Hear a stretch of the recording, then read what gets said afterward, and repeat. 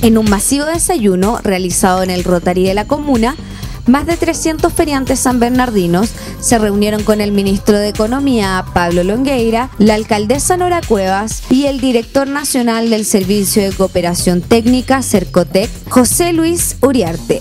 Oportunidad en que agradecieron a las autoridades el buen desarrollo obtenido por tres de las ocho ferias de San Bernardo. Esta es la comuna que ha obtenido más eh, postulaciones al programa de modernización de las ferias y, y, eso es notable. Es un orgullo para mí que nuestros dirigentes estén trabajando en la mesa nacional para la ley de las ferias libres. Así que muy contenta, ha sido una mañana, un desayuno grato, ameno. El ministro se dio un buen rato con nosotros para explicarnos todo lo que eran las proyecciones. Hemos ganado tres proyectos, vamos por el cuarto y lo más, lo principal para nosotros como ferianos y como representante de la Coordinadora Nacional de Ferias Libres, entregarle una propuesta al ministro, una propuesta que va a ser para, a nivel la, que hacer la ley de las ferias libres.